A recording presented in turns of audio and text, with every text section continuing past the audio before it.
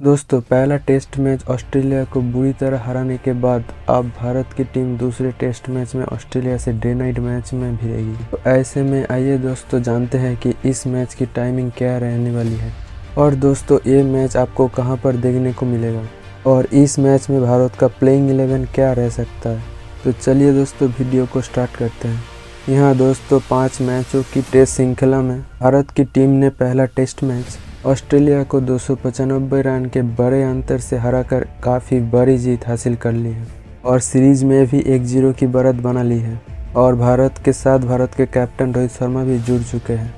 ऐसे में दोस्तों, भारत और ऑस्ट्रेलिया की टीम के बीच दूसरा बड़ा मुकाबला 6 दिसंबर को खेला जाएगा, जहाँ इस मैच के टाइम सुबह साढ़े नौ बजे रहने वाली है।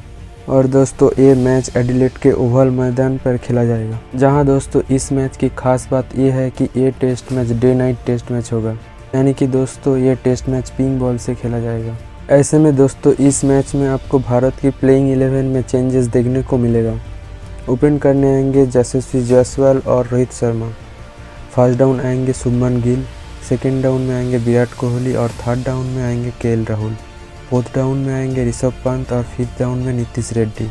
और उसके बाद वाशिंगटन सुंदर और बॉलिंग में जसप्रीत बुमराह, मोहम्मद सिराज और हर्षित राणा। ऐसे में दोस्तों, आप इस बड़े मैच को टीवी पे स्टार स्पोर्ट्स नेटवर्क पे देख पाएँगे और इसके साथ साथ डीडी स्पोर्ट्स पर भी ये मुकाबला दिखाया जाएगा।